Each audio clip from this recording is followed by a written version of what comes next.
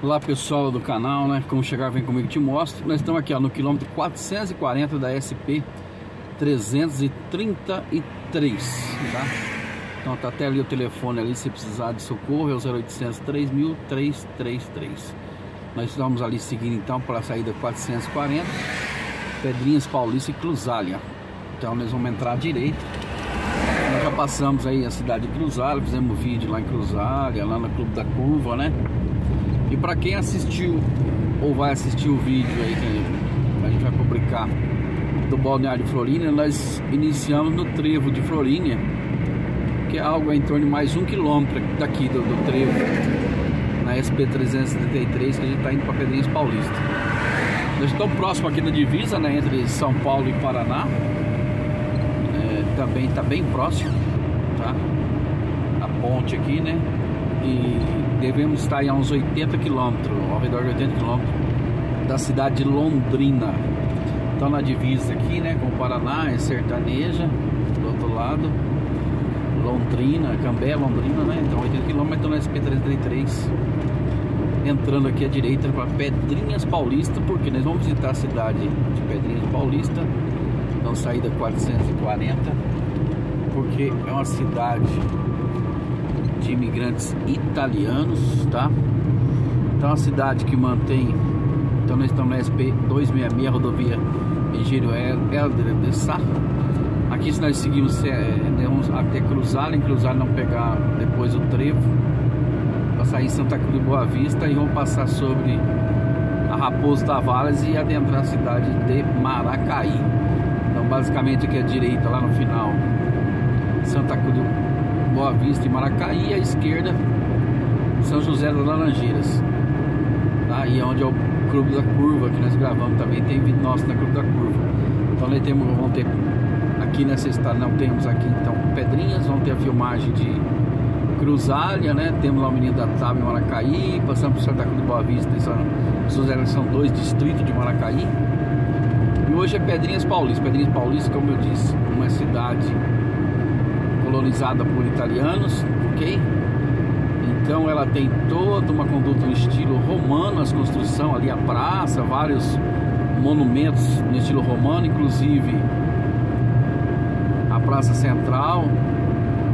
Existe também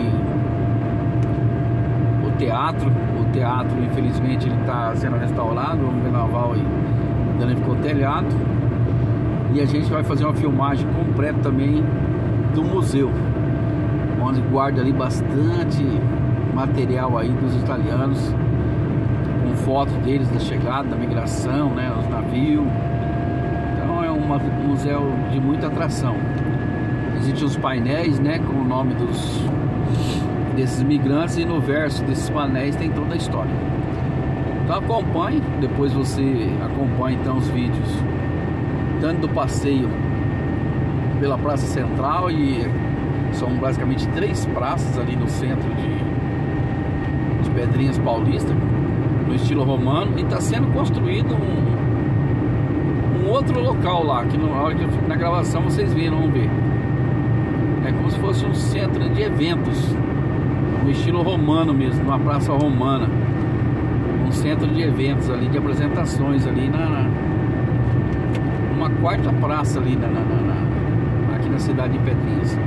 Então é contínuo aqui essa conduta, uma cidade muito bonita, uma cidade que nós estamos aí a 40 quilômetros da cidade de Assis, no total 48 quilômetros.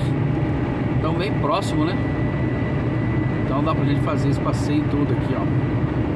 É, da outra vez que eu vim, eu saí por de Assis, fui a Maracaí, Maracaí, Santa Cruz de Boa Vista, cruzaram, saí Pedrinhas aqui no Balneário Florida e fechei inclusive no mesmo dia gravando lá em Bandeirantes do Paraná, atravessando a balsa ali no portal, no, na, em Canto Mota, né, no distrito do Porto Almeida. Então nós saímos da SP 333, vocês viram lá o quilômetro, entramos à direita, no trevo que a gente vai se dirigir a Pedrinhas Paulista e Cruzália. Aqui no nosso canal Como Chegar, vem que te mostro passeio hoje pela cidade de Pedrinhas, uma cidade de imigrantes italianos, com muitas construções no estilo romano. Uma cidade bem diferenciada, aqui bem próximo da divisa, né? Tem um rio ali que já faz a divisa com o Paraná bem aqui para baixo. Depois logo abaixo já tem a ponte né, da divisa que você atravessa para ir para Foz do Iguaçu, Londrina, Cambé. Basicamente do lado direito é uma cidade Pedrinhas Paulista, do lado esquerdo é Florínia. Então nós já estamos chegando, lá na frente já, já é o trevo da cidade, cidade de Pedrinhas Paulista. Acho que a gente não vai pegar chuva. Já tá, a cidade de Pedrinhas já consegui filmar. Então nós estamos no quilômetro 500 tá? da SP 266. Essa, essa aqui é a que liga até Cruzalha. E aqui para essa rodovia vai chegar até Maracaí.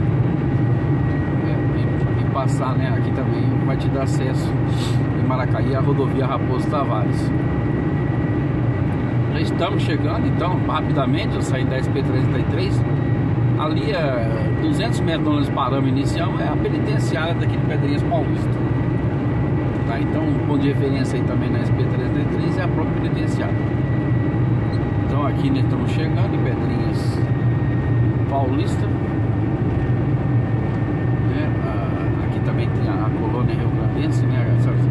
Lá em São José que é esse clube da curva, né? É da colônia, era da colônia. Vocês podem assistir o vídeo, é um clube muito famoso, mas infelizmente está lá abandonado. Então nós gravamos mais por saudosismo aí. Ó, então estamos chegando, ó, ali um portal, uma cidade extremamente agrícola, um, um tratorzinho antigo. Então nós estamos entrando aqui à esquerda, à frente a cidade cruzária e que vocês podem também postar um vídeo. Mas estamos estando nessa cidade de imigrantes italianos que mantém uma total tradição italiana, já na entrada com esse belíssimo portal aqui, ó, já em estilo romano, avenida bem ampla, vários casarões aqui, né? Soja plantada aí quase que dentro da cidade, uma terra roxa de extrema extremo valor, sou corretor de imóveis e aqui infelizmente quem tem grana não consegue comprar terra não. E quem tem terra para vender não consegue abrir nem a boca que quer vender que já, já foi. Então aqui é um. Até Londrina, né? Todo o Paraná aqui. São terras fértil, né? Terra roxa. Uma qualidade muito grande aí para agricultura. Então quando você pega aqui já dentro aqui o Paraná, é um outro tipo de, nada de areião não. Aqui é terra mesmo para cultivar, que quando chove você paçoca a perna. Bom, mais um quarteirão aí, dois quarteirão, nós estamos chegando na praça, tá? Ali à esquerda tem uma cantina Raiz Itália do meu amigo Roberto. Nós devemos fazer um jantar italiano, trazendo aqui o tributo André Bocelli Duco, Germano Brizac a Fabíola Cariati são produtores, vocês podem procurar também vídeo aí da apresentação do tributo André Bocelli Du. Estamos conversando aqui com o prefeito, possivelmente esse ano a gente consiga trazer eles aqui na cidade, que é o terraço, então, Cantina Raiz da Itália, do amigo Roberto, sua esposa, né? Eles também estão em indústria de massas italiana. Estamos chegando aqui, ó, o Correios, ó. Já o Correios, ó, no estilo romano. Eu vou aqui ainda me dirigindo dentro do trajeto, porque eu vou parar com o carro em frente, é aqui, ó, nessa rua em frente aqui, que é o Centro Cultural. Mas depois a gente vai ter a filmagem de todo aqui, ó. Essa praça aqui no estilo romano, nessa praça aqui tá a igreja e tá ali o teatro.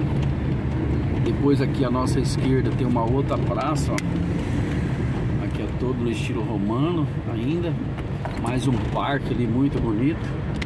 Mas nós vamos aqui já contornar a primeira à direita dessa primeira praça, onde que aqui a gente já está do lado da igreja. Esse prédio à nossa frente aqui à direita é o teatro. Você vai ver depois a, a frente dele, muito bonito no estilo romano.